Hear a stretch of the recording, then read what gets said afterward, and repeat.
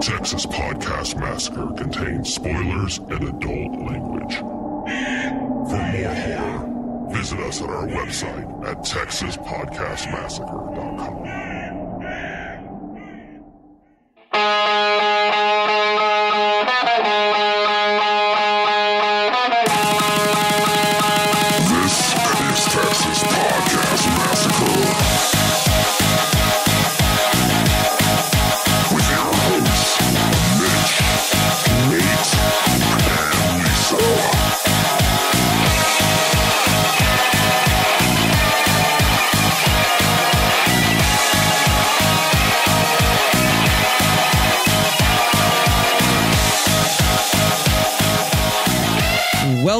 to another episode of Texas Podcast Massacre. I'm your host, Nate, and with me, as always, is no one. That's right. This is a solo episode. Somehow, some way, Mitch picked a doll puppet themed month, and I got stuck doing a solo episode. The greatest trick Mitch ever pulled was convincing me that this uh, this was a theme month that would uh, essentially be him getting to pick the movies finally, not complaining anymore. Yet here we are, all by myself, as Green Day put it. And, uh, you know, we're just going to push on, push through, continue week three of the Doll of Fame uh, with another episode on on this ridiculous, I must say again, uh, themed month that the person who picked it is not here. So with that out of the way, uh, let's get into this week's episode. The I'm going to go with classic, semi-erotic horror shaman doll movie, suddenly in the dark, aka suddenly at midnight, aka suddenly in Dark Night. 이번에 지리산 계곡에서 발견했습니다. 저건 뭐야? 그 일종의 희귀종인데? 누구예요? 여기란 아가씨야 방황하고 있길래 내가 데리고 왔지. 여기가 이제부터 미역이 방이야. 무당은 저 애가 용두산 용신할매의 혼령을 받고 태어났다고. 아무나 보면 안 돼요. 내 거예요.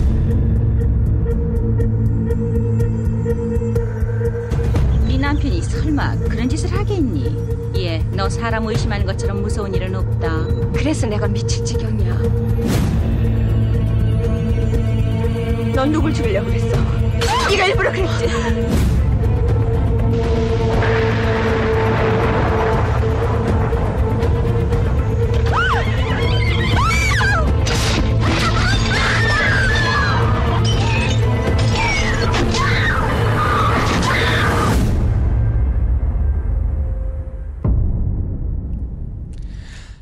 Well, that was something. Uh, Suddenly in the Dark, 1981, Korea,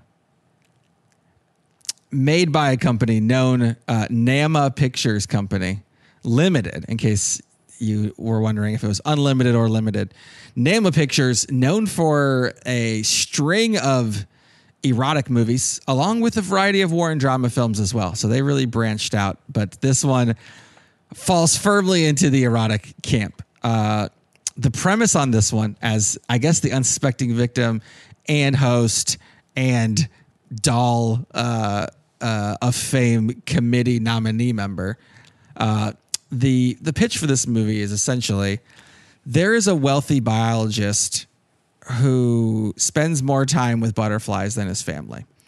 Uh, while not spending time with his family, he happens to pick up a 19 year old girl on his travels.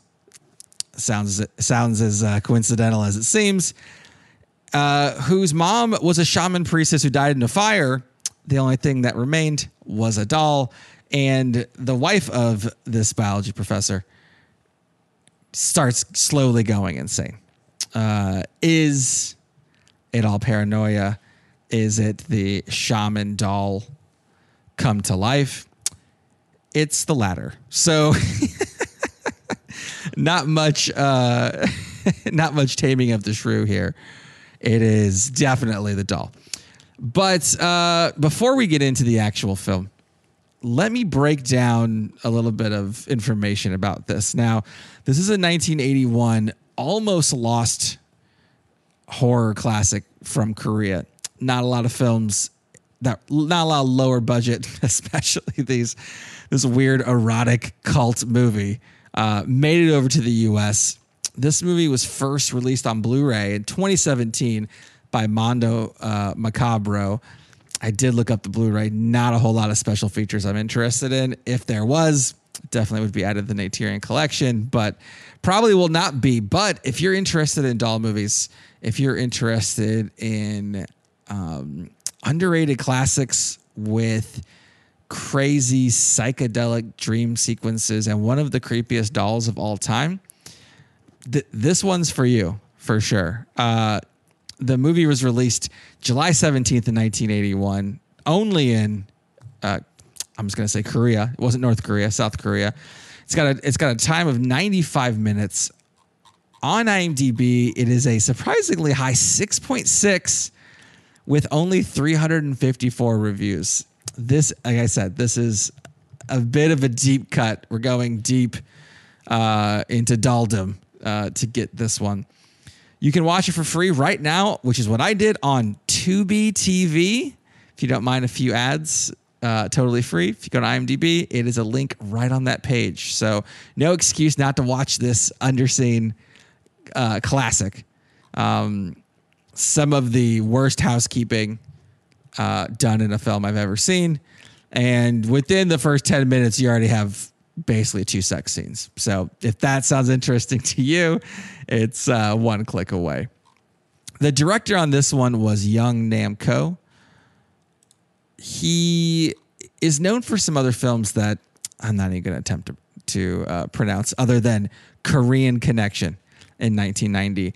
The majority of his films are not rated on IMDb, which I have never come across before. These are just a lot of low budget, cranked out movies. Uh, he made five films in 1978, four in 77. Uh, had a nice, nice top off of five again in 76. 75, extremely lucrative, going up to seven films. So you, you get the gist of what was happening here. And uh, it wasn't quality, it was cranking them out looks like 1971 was nine films. I thought, uh, yeah. 1969, which this guy was probably a huge fan of just based on on his film. Uh, we had nine films as well. So th- this person in the span of a decade made, I don't know, a decade and a half made something like 70 films. Uh, so y- you would think normally, all right, he's just churning these out. This is this is someone who makes you know 12 lifetime movies about someone getting poisoned. But for some reason, this diamond in the rough, uh, you know, made it uh, slightly into the uh, cult movie scene. And from there has grown a, a very small but devoted following. And I would probably include myself in that list uh, at this point because I was a fan of this one. Uh, in terms of actors or actresses, not a whole lot here other than Young A Kim. Uh, she is an actress uh, born in 1951. So when this came out, she was about 30 and ended up being in quite a bit of uh, Korean TV shows uh, and and films, uh, even until the end of her life. Pretty much the only actor that worked any amount other than the other people in the cast. Speaking of the cast, there is almost no one in this film. This could have been filmed during COVID.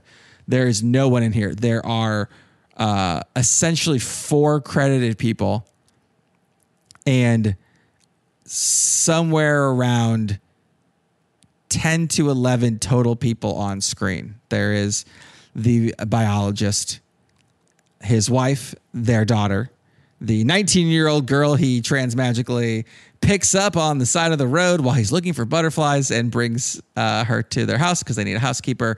the wife has a friend, and the biologist, when he comes back with pictures of butterflies, which apparently got him very rich somehow in this uh, alternate Korean universe, has uh, f- three or four uh, biology friends as well.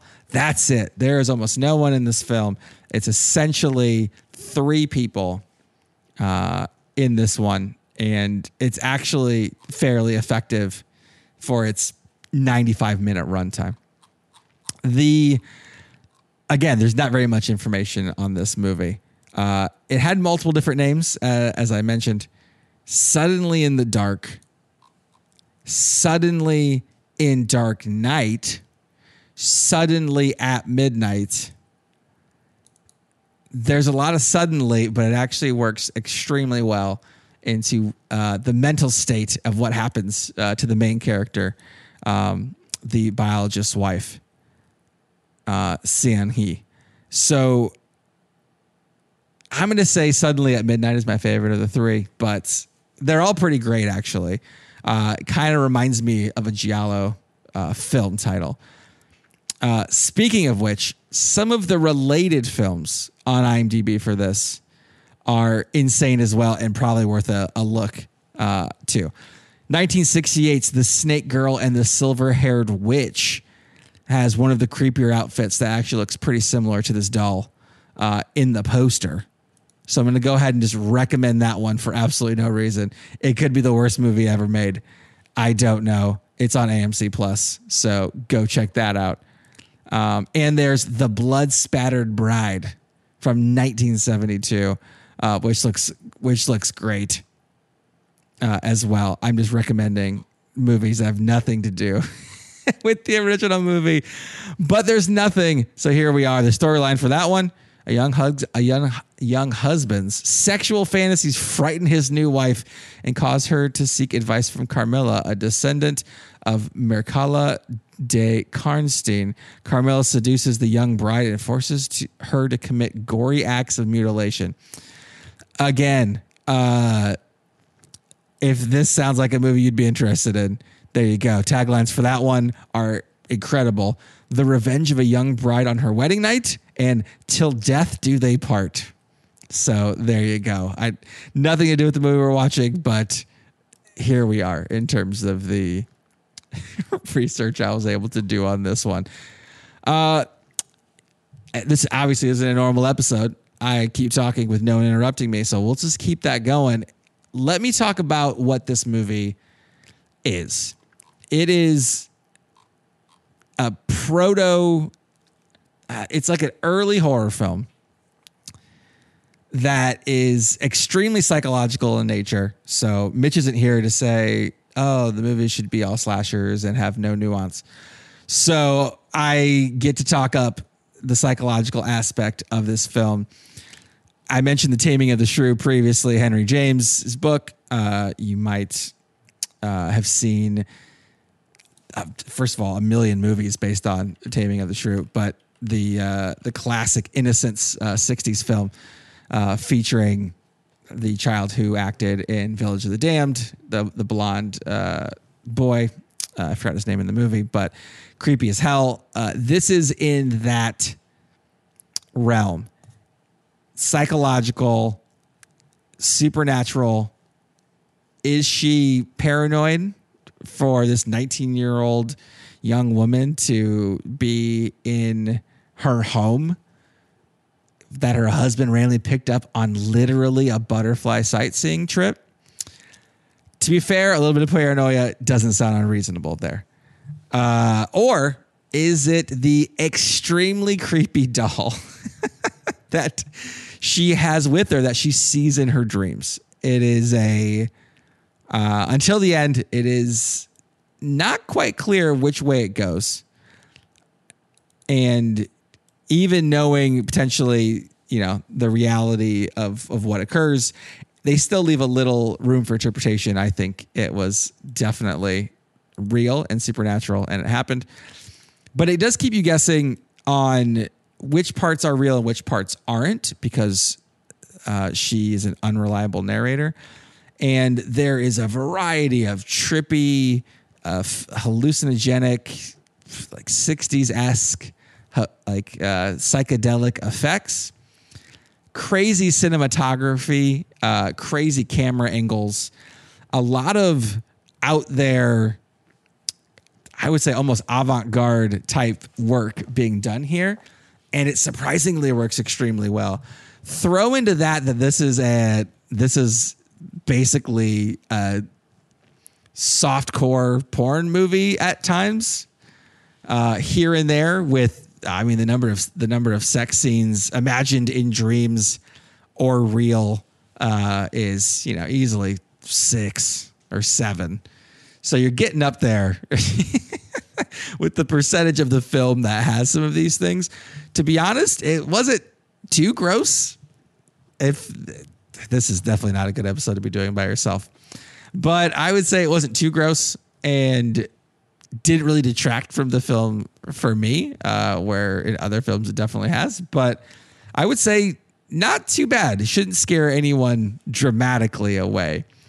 Um, I will say the acting from the main character, she is very good. All the setups in the film are basically soap opera esque, like confrontations and dramatic uh, fainting and and some yelling and screaming. The setups I mentioned the Lifetime movie previously. To be honest, a little bit of Lifetime esque but the actors really go for it, especially the main character, uh, who's the wife of the, bio- the biologist, and the the young woman Miyok, uh, whose mom was the burned alive shaman. Great acting on both sides, from uh, Miyok being, you know, very a naive young woman to uh, to showing a variety of cunning and intelligence where she didn't have that before uh, from the wife, you know, trying to keep it together, definitely having mental illness, either supernaturally impacted by a doll or from her home life being shook up so dramatically and her husband being gone so long. Again, I cannot stress this enough. Butterfly sightseeing trips where he's gone for weeks at a time looking for butterflies, somehow wealthy from that. Uh, if anyone knows how to get wealthy from butterfly sightseeing trips and being a biologist, uh, please let me know. I didn't mention it earlier in the episode, but uh, tweet us at TX Pod Massacre on Twitter, Texas Podcast Massacre everywhere else. Hey, send biologists. There's got to be a biologist somewhere in our listenership. We have people from all over. Maybe there's some South Korean biologists. We definitely have some uh, some some fans in South Korea. Uh, let us know how do you get rich. Um, uh, I can't imagine it's easy. I can't imagine there's a whole lot of butterfly biologists who are just living in rural mansions uh, with huge houses, able to pick up 19 year old uh, homeless people uh, to be their maids. But again, Texas Podcast Massacre at gmail.com. Email us. Give us a five star review for all those biologists out there. Hey, are there other erotic horror cult South Korean classics that we don't know about? Um, I only know about one. So if there's any others that are good, I will not know them. Uh, email those to us. Give us a five star review on Apple Podcasts, Spotify, Stitcher, the podcast platform of your choice. We will review it. And if I could get Mitch on one of these things and actually watch this, it would probably be incredible. So keep those five star reviews coming. Uh, give us a call 346 246 3143. Let us know what you thought when you clicked on that Tubi TV link from IMDb and watched this batshit film.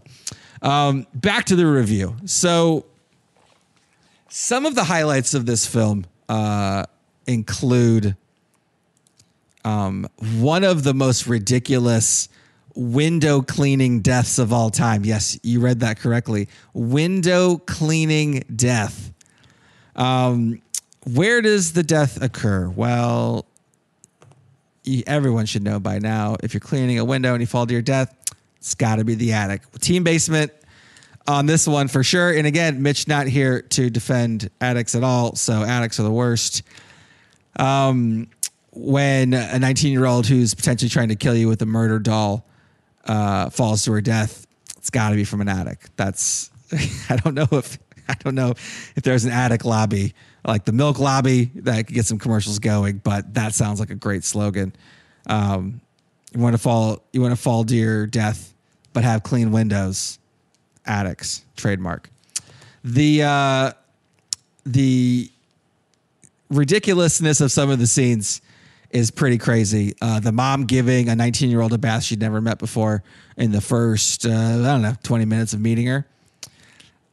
A choice. Uh, there is a little girl who they have together. Uh, clearly, the dad is absentee, looking at butterflies more than his kid.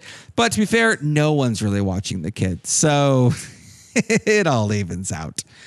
Um, there's a friend who at first says, Hey, uh, your husband is this rich biologist, a lot of butterflies, you know, a lot going for him, pretty big catch uh, for the young ladies. We're getting older, you know, you're in your 30s, you know, who knows what happens sometimes. Then a hot 19 year old who barely buttons up her shirts comes in to be the maid, uh, very flirty, very suggestive. And that same friend says, We should probably go to a sane asylum because you sound crazy.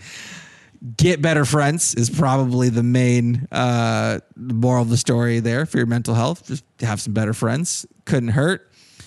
Um, and the dynamic between the two is, you know, is is pretty intense. If you've ever been in a relationship that's on the edge or been around, you know, tense situation where anytime anyone does something and someone jumps down their throat, uh, that's part of this movie.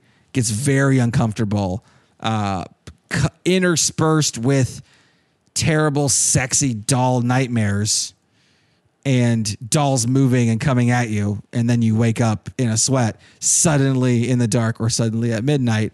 Um, it actually ratchets the tension up pretty solidly. Uh, by the end, you know something's going to happen.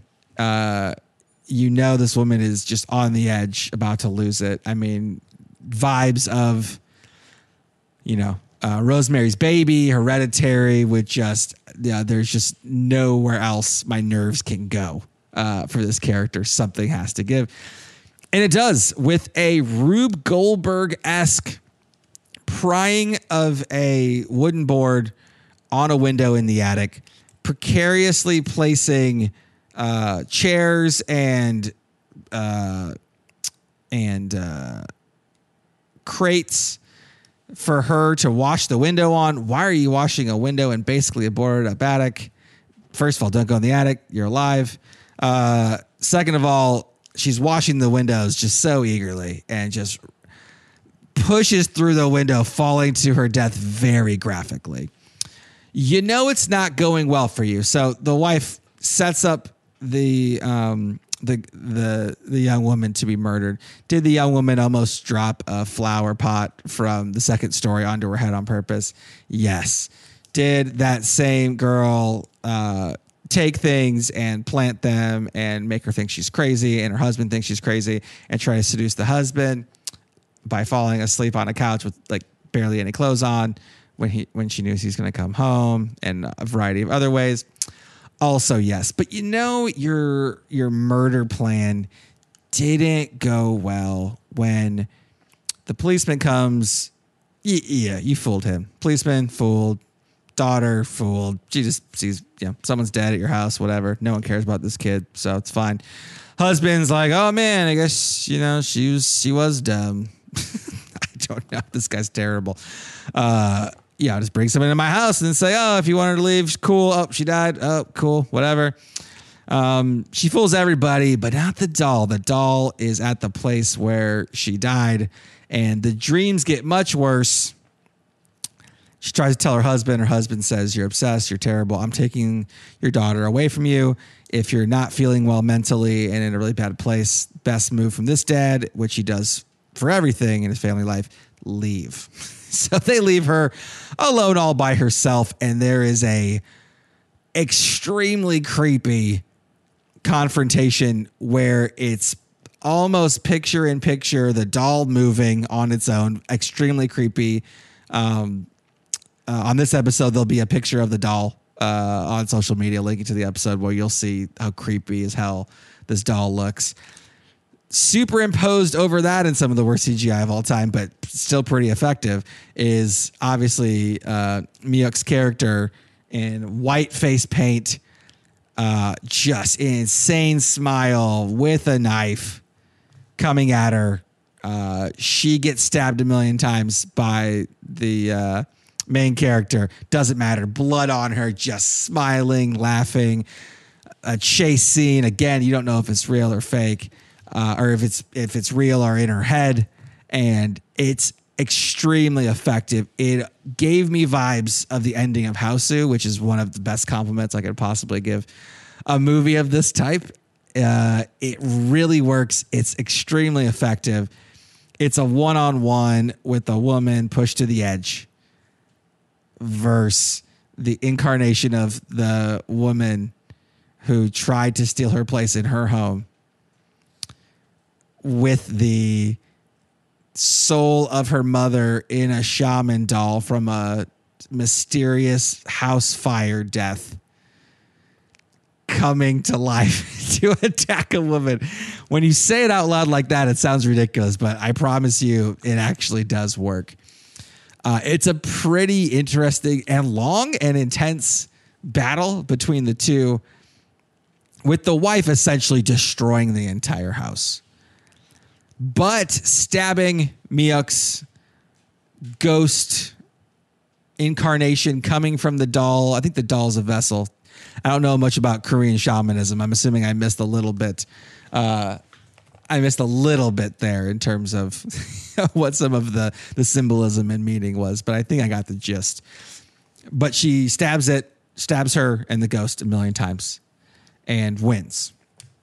Uh, you know, cut to black. Oh, hey, conveniently, after all the action and uh, and uh, help would have been uh, necessary, the husband comes back home, finds the house ridiculously trashed. Not sure what he expected with a wife he accused of having mental illness multiple times, telling her to go to a psychiatrist or go to a hospital. Then leaves her alone, comes back, actually surprised the house is a mess. Don't, I guess that's it's one track butterfly brain, nothing else, no other lanes. It's just butterflies or I'm leaving. Like it's it's it's I'm leaving and butterflies or I'm leaving. There's no there's no staying component to this guy's brain. Maybe because he's just so dedicated. That's how he got all that money. Not sure, but comes back and his wife is sitting there, white face paint, holding a. It almost looks like a straight razor, but more creepy, uh, which the doll had been holding the entire film, making it even more ominous. And she's just sitting there, not moving, uh, with the doll next to her, looking exactly like the doll. And that is the ending. Cut to like go to credits. Pretty incredible final shot for a film uh, that ended well and then capped it off with an incredible, incredible final. Just look at her exactly the same as the doll. The husband, again, it's not butterfly related. So he's just incredulous. What, how, what is this? What happened? Just worthless. So, um, ending incredible.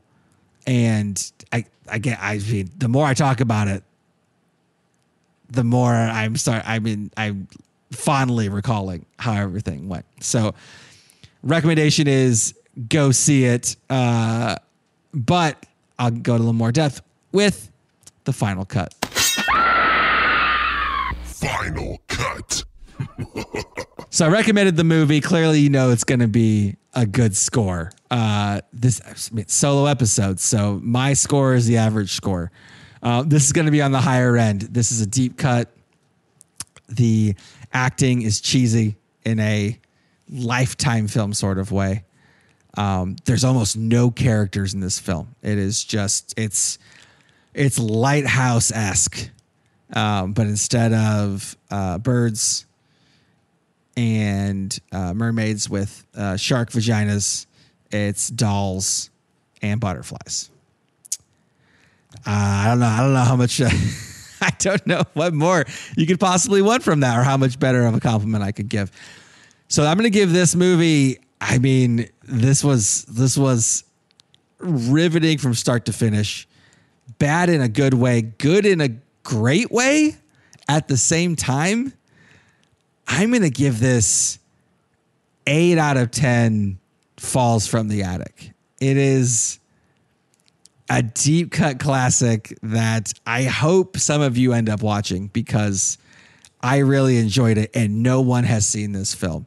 So if I could talk to to anyone about it, including my co-host on this podcast, that would be fantastic because it doesn't go Hausu levels of weird. So I compared it to Hausu a little bit.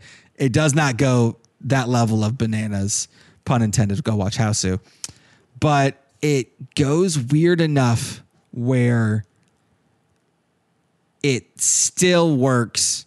It's not quite as off the wall or off putting potentially to some people. The sex scenes just might, the sex scenes and the amount of them might be. Uh, some of the just yeah, over dramatized soap opera ass acting and scenarios might be a little bit of a turnoff. But if you're into some slightly weird stuff with some creepy dolls, um, uh, this is the movie for you. And as the sole committee member of the Doll of Fame nominating committee, uh, I hereby, in a, in a shamanistic way, uh, induct sudden suddenly in the dark doll uh, into the Doll of Fame. Probably the probably the best contender, like the the Michael Jordan or the uh, the Kareem Abdul the Kareem Abdul Jabbar of of murder murder early 80s Korean uh, shaman dolls. So that's it. I hope this interesting solo episode uh, wasn't too ridiculous for you. If not, don't worry. Next week we're doing Puppet Master. God damn it! It can't cannot win. There's just no way. Puppet Master solo episodes, dolls. I don't know how I got roped into this. Uh, I feel like, I feel like Mitch picked up a 19 year old uh, young woman in a car that was the Doll of Fame uh, theme month, dropped it off in my lap, and then just left. That's actually this movie is almost a 10 out of 10. It's it's it literally describes what's happening right now. Um, but yeah, next week we will finish the Doll of Fame and be at Fantastic Fest with Puppet Master 3, unfortunately. Fortunately, around all of that, there will be good new films that uh, we can tell you about and give our impressions uh, from things that are hopefully actually good. Um, so that's it for this week's episode of Texas Podcast Massacre. Uh, I'm Nate. I am not a shaman, so and I don't have creepy dolls, so that's a positive. But if you watch this this movie on Tubi, just keep telling yourself it's only a movie. Good night.